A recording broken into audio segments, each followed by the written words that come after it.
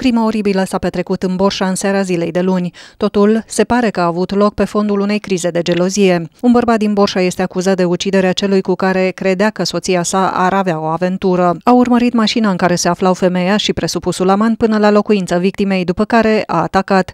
Bărbatul înjunghiat a încercat să fugă, însă doar după câteva zeci de metri s-a oprit cu mașina într-un gard. Grav rănit, bărbatul de 34 de ani a fost preluat de medici și dus la spital. Acolo, din cauza rănilor grave, a murit. Suspectul și femeia au fost duși la audier, iar presupusul criminal a fost reținut și urmează să ajungă în fața instanței, cu propunere de arestare preventivă. Bărbatul ucis are trei copii și, în trecut, a avut probleme cu legea și a stat în spatele gratiilor. Primăria Baia Mare anunță pe site-ul oficial că se poate achiziționa abonamentul anual pentru toate parcările publice din municipiu. Abonamentul costă 100 de lei pentru autoturismele înmatriculate în Baia Mare și 200 de lei pentru autoturismele înmatriculate în alte localități.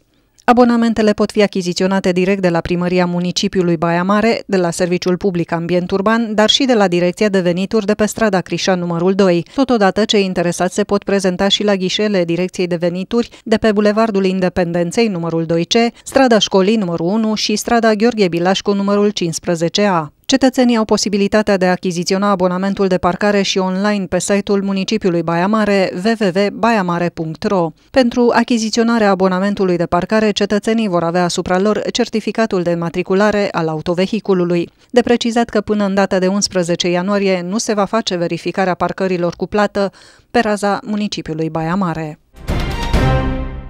Începând cu 7 ianuarie, 16 elevi de la Școala Militară de Subofițeri Jandarm Petru Rareș din Fălticeni se află în stagiu de practică la Jandarmeria Maramureș. Conducerea Inspectoratului de Jandarm Județean Pintea Viteazul Maramureș le-a prezentat tinerilor elevi aspecte legate de specificul unității, atribuțiile, programul și misiunile desfășurate de către jandarmii maramureșeni în zona de competență. În perioada stagiului de practică, elevii fac parte din efectivele unității și își desfășoară activitatea în timpul programului de lucru. Aceștia vor fi angrenați în activitățile specifice jandarmilor, dar nu vor întocmi acte procesuale și procedurale de constatare și sancționare în nume propriu, participând doar alături de tutorii profesionali la redactarea unor astfel de documente. Ei vor fi repartizați să desfășoare activități specifice în cadrul structurilor de ordine și siguranță publică, de pază și protecție instituțională din Inspectoratul de Jandarm Județean județean. Vor fi coordonați și îndrumați în toată perioada de către tutor profesional cu experiență în activitatea profesională, urmărindu-se realizarea obiectivelor și măsurilor prevăzute în programa stagiului de practică.